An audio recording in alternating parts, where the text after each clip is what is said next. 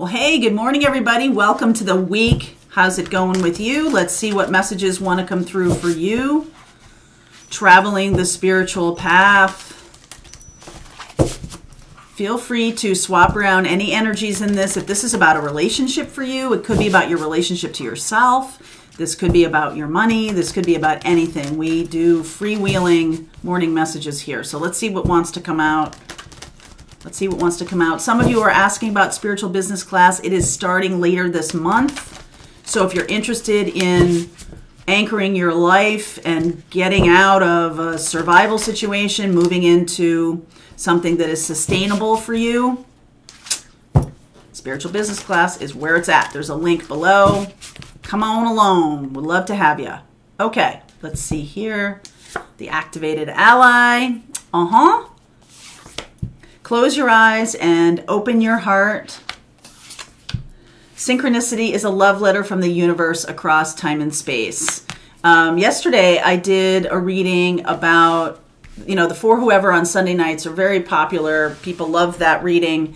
And it was really talking about someone who was a karmic catalyst. So if you haven't seen that reading, I'm going to put a card here so you can go back and look at this. Because I feel like you might be opening your eyes not really your physical eyes, but the eyes of your heart to see why a person is in your life. Okay, this person is activated or they've activated you.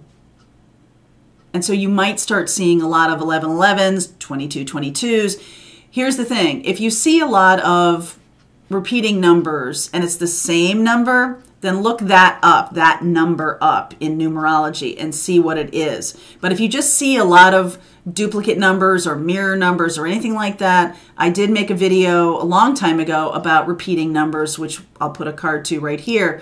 And that is just a sense of like, hey, the universe is trying to get your attention. So if you see the same numbers over and over again, I invite you to look those up, angel numbers, that situation. But if you just are seeing um, a lot of numbers that are repeating and you're kind of like, oh, okay, it's like this is your subconscious trying to like get you to wake up to something. But it because it's all different numbers, you don't really know what it is yet. It's just like kind of the initial, hey, I'm trying to get your attention thing. Okay? So let's see what's going on here. You may have had somebody come across your path that is activating you or they are being activated by you. Okay, so let's see where we go here. Let's see where we go here. Deep breath, people. Deep breath. Okay. All right. Three of Swords underneath. There's a Knight of Cups. And there is an Emperor energy here. I feel like some of you are moving beyond a heartache um, taking action on your own best behalf, right? You might have dealt with somebody who was a player, a cad, a beast. Um, Knight of Wands, Six of Pentacles, Queen of Swords. It's almost like you're looking away from that energy now. Justice.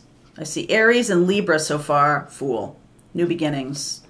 Seven of Wands. Being more discerning. This Queen of Swords and Seven of Wands makes you see you know your past your past patterns things like that. Eight of wands hierophant and the ten of cups. This is leading you toward a life partnership. I feel like some of you and i go watch that reading from yesterday the weekly reading the for whoever. I feel like somebody you might have been thinking that some type of person or a person was your life partner but they're really just opening the door for you to be like no, I don't really want that. I want something else in my life, whatever that is. Okay. This person is helpful to you. They don't have any clue that they're helpful. They're not trying to be. in fact, they might be jerks. Okay. They might be jerks. Um, I see Taurus. I see Libra. I see Aries here. I do see Sag. Okay. So I want to understand about this Knight of Wands, okay? Because this is clearly a catalyst energy. Two of Pentacles. There's the Empress. Two of Pentacles, Empress.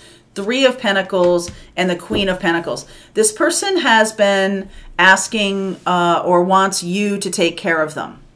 All right. They are somebody who also needs other people in their life to take care of them. They, I don't know if they kind of use people, but they definitely feel like they need some grounding or some assistance in some way. Six of Pentacles here. You could be giving them some help. Um, they may act like they're giving you help, but I feel like you're giving them help. So the activated ally, I think we should read that one. It's a, um, a number nine card.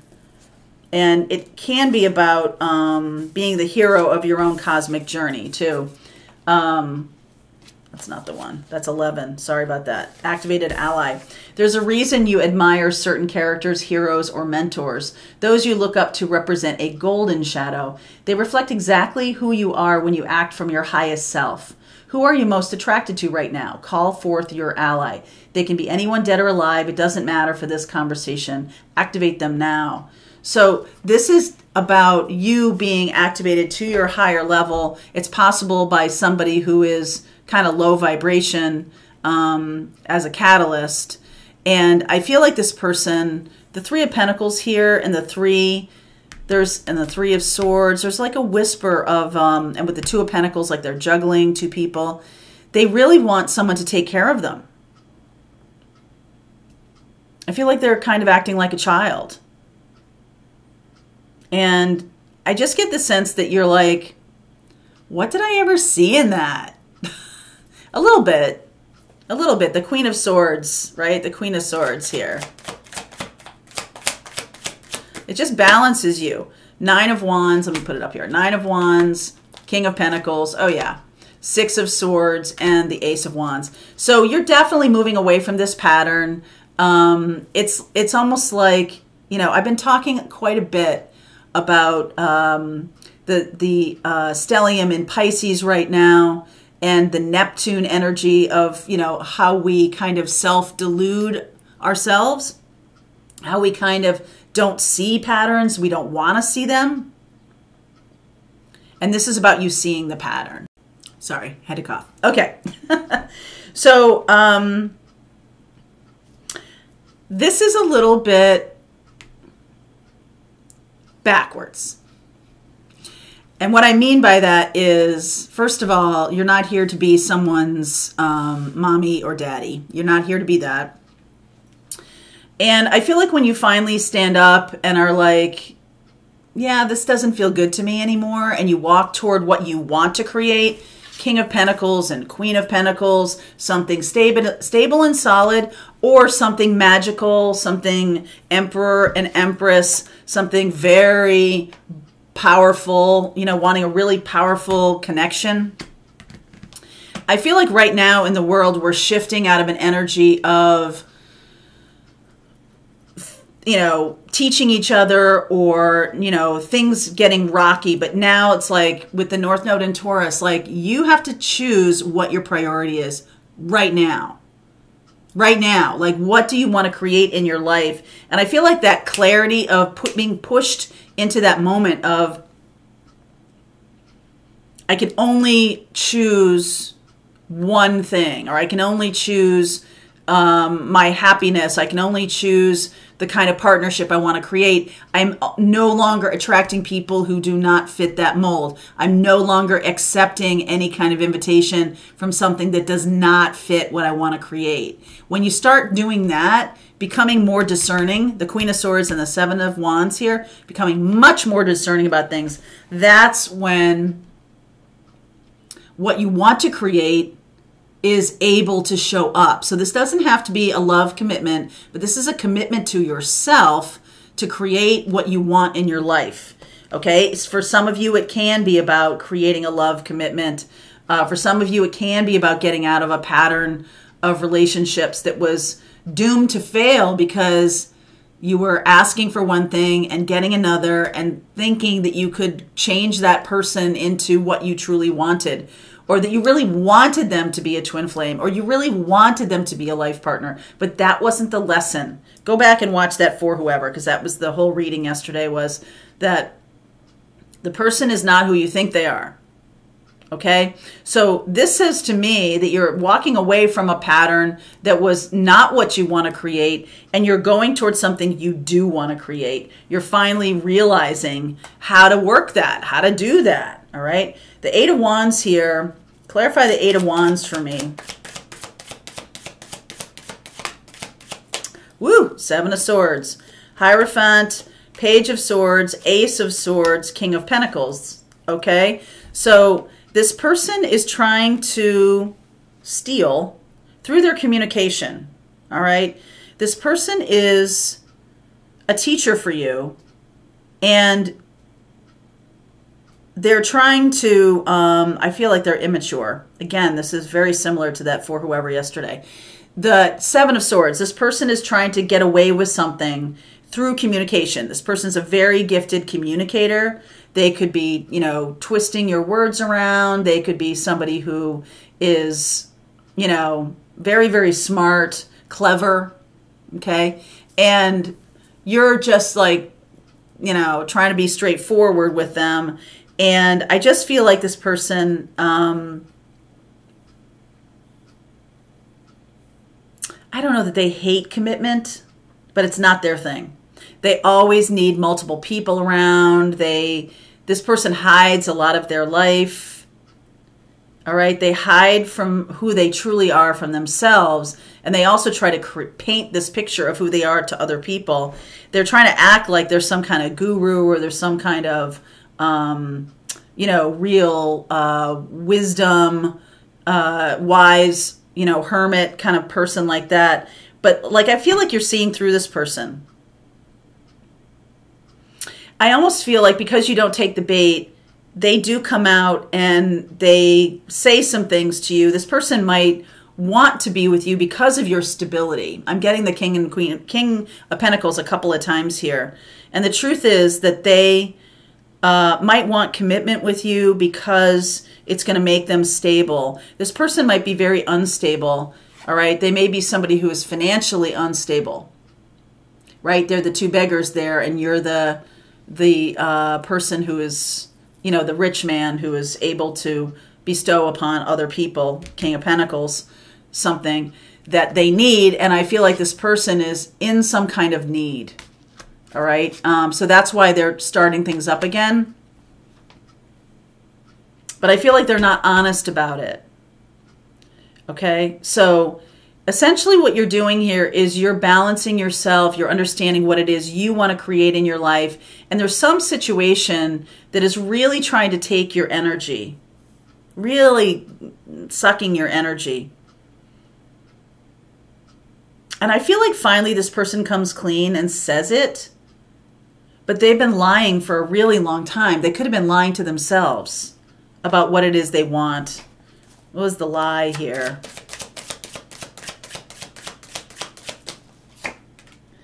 Six of Pentacles, Three of Wands, Nine of Cups, and the Eight of Wands. I think they've been lying about their financial situation. I think they've been lying about their own lack of stability. I think they've been living in a fantasy about um, money. They have a real block around money. And they might see you as somebody who has a lot to offer in terms of stability and that can be emotional stability, it can be any kind of stability. But I do feel like this person sees you as the pathway to their stability. And so they might change how they talk or or something, but I think it's a lie. Cuz I think they're just trying to manipulate you. I don't think they know as you know everything i'm saying about them i don't think they're self-reflective. I don't think they understand it. I think they just know what they need right? They just know what they need at any given time and that's what they put their energy to. But i feel like they probably have some kind of problem with money some kind of problem whatever it is that's creating it just shows up in their money or it shows up in their life. It shows up no matter how hard they try to hide it it shows up and now, because we're moving into this more awakened state, I do feel like April, I do feel like there's a Neptunian um, activation that's going on. that is going to awaken a lot of people, but also make things utterly transparent. Like, there's no way you can't see the truth. And so, people who've been lied to, especially by people that they love or that they want to have in their life, the deception becomes clear. It just is like so obvious. The deception just comes out of hiding. All right. Okay, I am going to look at Taurus and Libra. I see lots of Taurus and Libra energy here. Taurus, Libra, I see Aries. I see Sag. Taurus, Libra, Aries, and Sag.